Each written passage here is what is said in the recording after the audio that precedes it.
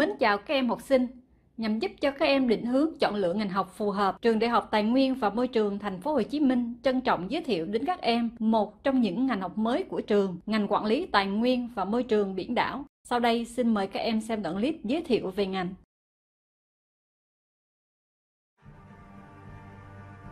Cùng với những đóng góp to lớn từ khai thác tài nguyên biển vào quá trình phát triển chung của đất nước, môi trường biển Việt Nam đang đứng trước nhiều thách thức.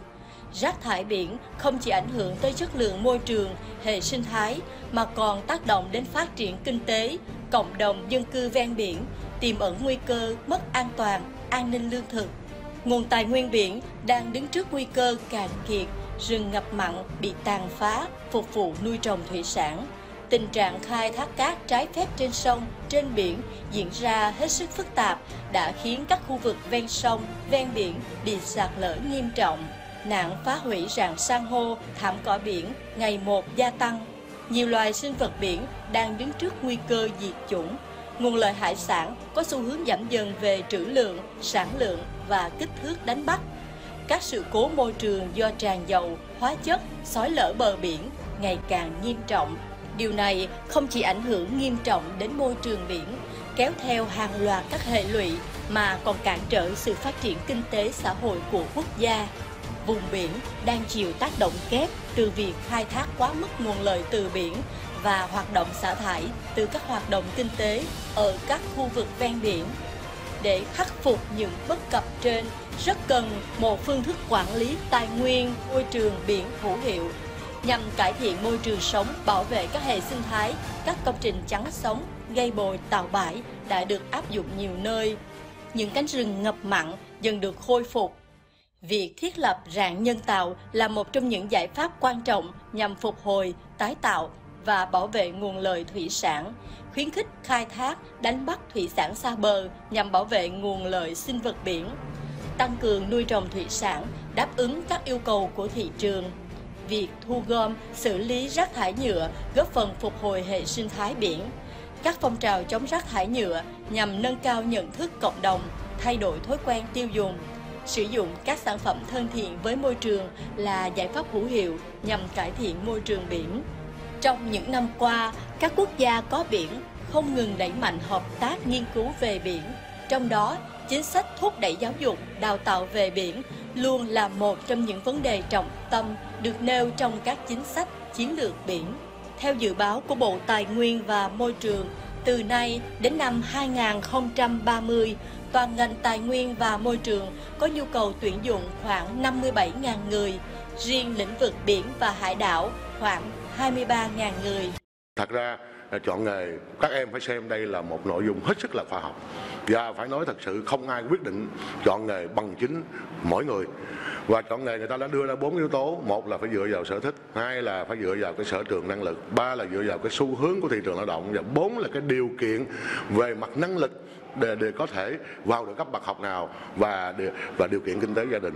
À, phải bốn yếu tố này nó kết hợp chứ không một yếu tố không thì cũng không đầy đủ.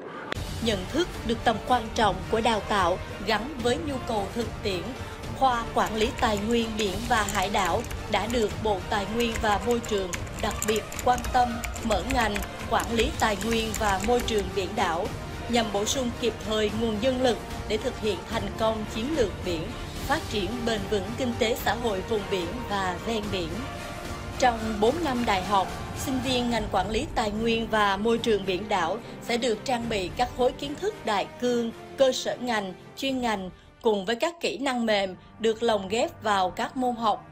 Với môi trường học tập thân thiện, đội ngũ giảng viên trẻ, yêu nghề, nhiệt tình, đầy tâm huyết, góp phần nâng cao chất lượng đầu ra cho sinh viên. Bên cạnh môi trường học tập năng động nhằm kích thích tính sáng tạo, sinh viên còn được truyền cảm hứng, tham gia nghiên cứu khoa học, chia sẻ kinh nghiệm học tập, trao đổi học thuật thông qua các buổi sinh hoạt chuyên đề, hội nghị, hội thảo được tổ chức thường niên nhằm đảm bảo chất lượng học đi đôi với hành những giờ thực tập phòng máy làm quen với thiết bị máy móc chuyên ngành quan sát thực hành đo đạc khảo sát và đánh giá tài nguyên và môi trường biển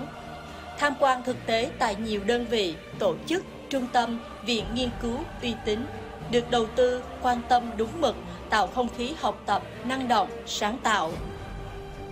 Bên cạnh kiến thức chuyên môn vững vàng, sinh viên còn được rèn luyện thể chất, kỹ năng mềm để hoàn thiện bản thân, mở rộng mối quan hệ, hòa mình vào cộng đồng và tạo sự lan tỏa tình yêu và ý thức trách nhiệm về biển đảo. Với phương châm đào tạo nguồn nhân lực, năng lực và phẩm chất vượt trội sẽ là hành trang vững vàng cho sinh viên của ngành quản lý tài nguyên và môi trường biển đảo hội nhập vào kỷ nguyên công nghệ 4.0.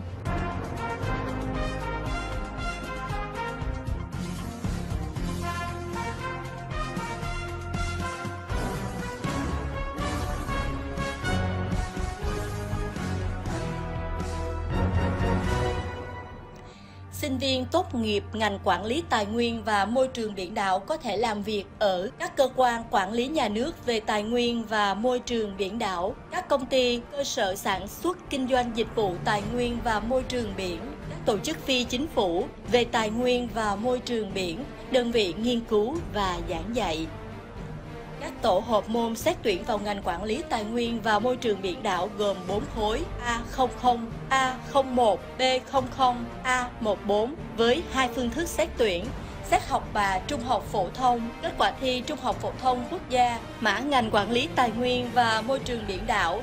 7850197. Để hiểu rõ hơn về ngành học quản lý tài nguyên và môi trường biển đảo, các em có thể vào website biển đảo hcm.com một tư vấn tuyển sinh để xem các thông tin giải đáp thắc mắc về ngành học. Các em cũng có thể đặt câu hỏi cho chúng tôi bằng cách gửi thông tin vào hộp thư tư vấn tuyển sinh. Hẹn gặp các em tại khoa Quản lý Tài nguyên biển và Hải đảo, Trường Đại học Tài nguyên và Môi trường Thành phố Hồ Chí Minh.